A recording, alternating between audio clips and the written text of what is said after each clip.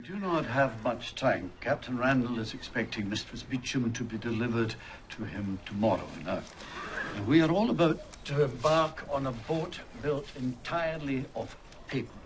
The letter of the law is the only thing keeping Claire out of Randall's hands. And if it is to work, then we have to follow it to the letter.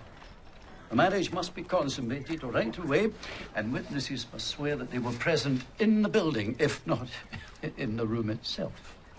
Does Claire know about all this? She's no say in the matter.